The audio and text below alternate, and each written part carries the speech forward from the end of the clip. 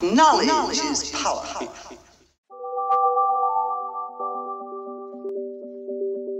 Hey everyone, I'm DJ Hail Nazareth with United City Plugin, giving you another 411 plugin on installing GarageBand or any application that isn't compatible with an iPad 2 or 3.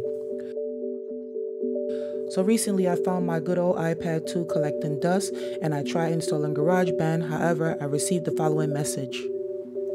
Denied. So today I will show you an easy way to install GarageBand without updating the iOS or contacting Apple technical support. So with that being said, all systems go. Right, so the first thing is to make sure your applications are all saved in your Apple iCloud, followed by heading to your App Store. Once you enter the App Store, please make sure you click on your profile name. There you should see a list of all of your applications. Now we can install GarageBand and another window will display the following message. Please don't worry, just select and download.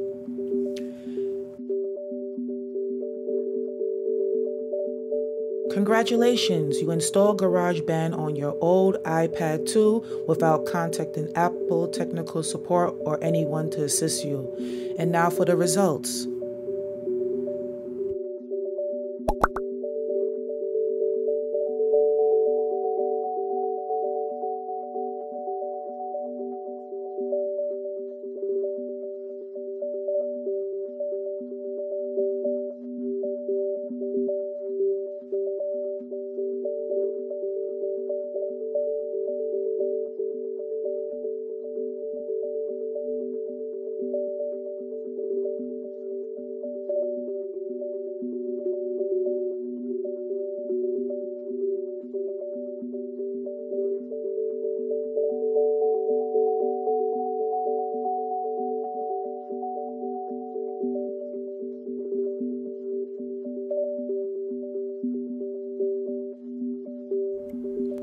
All material used in this video will be in the description section below, and if you need any assistance, leave it in the comment section below.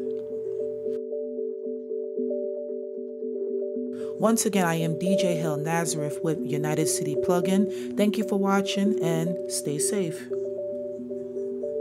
Professor, I would like to thank you again for your cooperation.